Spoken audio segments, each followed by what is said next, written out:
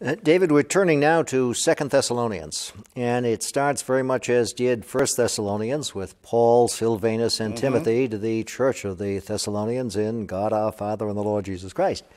Um, so it claims to be by Paul, right? But a number of people have doubted that uh, right. claim. What What do you make of? Well, uh, I, I would just say from the beginning that that I'm perfectly happy to say that there's some letters that claim to be by Paul that aren't by Paul. I don't think Paul wrote Ephesians. I don't think Paul wrote First Timothy, Second Timothy, and Titus. So this is an interesting one for me because I think the evidence is not so clear.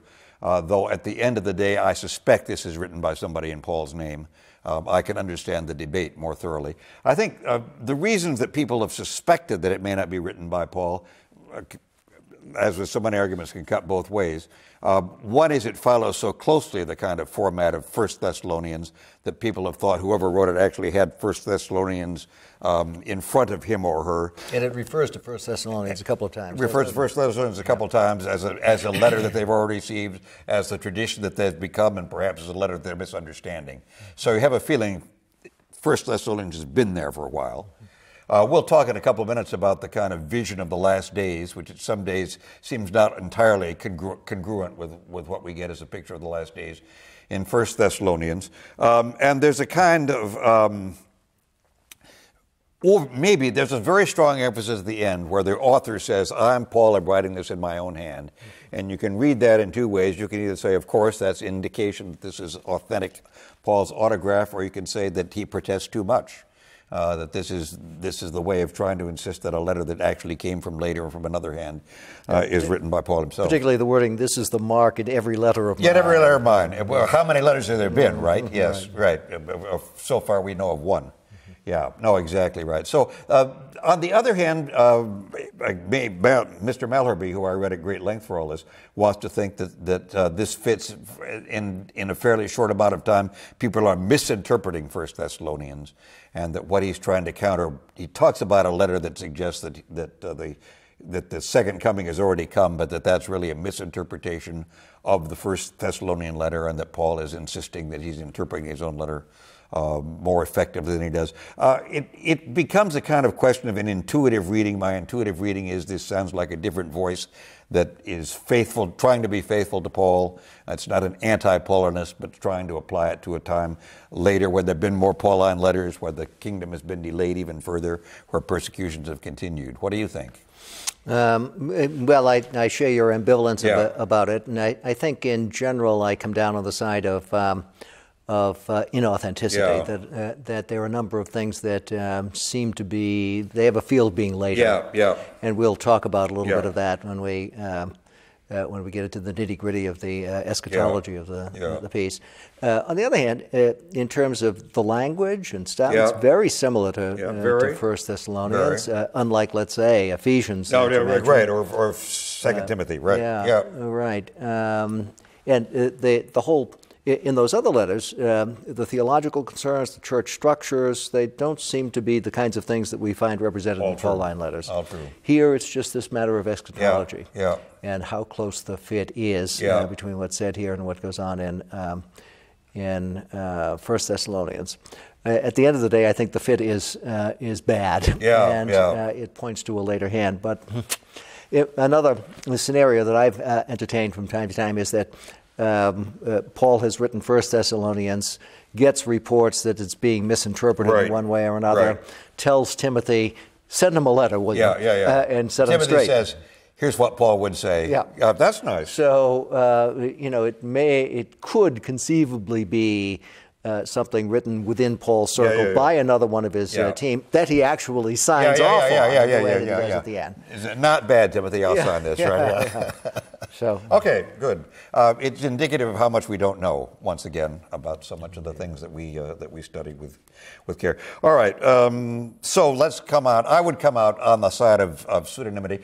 just a kind of a quick theological reason. All right, so there it is let's suppose you and I both decide, you as a Catholic and I as a Protestant, that there it is in the New Testament, but Paul didn't write it. Does it suddenly lose its authority? Do we no longer preach it? Do we no longer teach it? Mm-hmm. Um, uh, well, this is one of the reasons that I go back to the uh, the multiple uh, signatories on these yeah, letters. Um, yeah. That Paul was not. You know, uh, we sometimes have a, a, romantic notion of Paul as uh, the the unique apostle yeah. working on his own. No, he was always a member of a team. Uh, and I think what we have in, in uh, the Pauline correspondence uh, overall is, is the expression of uh, Pauline Christianity, of a school. Yeah. And so uh, the church um, viewed it as something to, uh, to take inspiration from and, yeah. um, and finally incorporated it in a, a, canon of authorized scripture. So that's where it sits for yeah. me, even if it wasn't, in fact, yeah. originally written by Paul. I would say the same. Mm-hmm. So, and I perfectly happy to preach it without lengthy descriptions of where Paul was in his ministry when he wrote it. Right. Uh, that's where I hedge. So, so let, us turn then to okay. what he says. Yeah. And uh, he begins, as uh, usual, with a thanksgiving yep. that kind of echoes the thanksgiving in uh, First Thessalonians, right? It, yeah. And talks about his boasting of yeah. the so the, some yeah. of the same warm, fuzzy feeling. But uh, it, that ends very quickly. Yeah.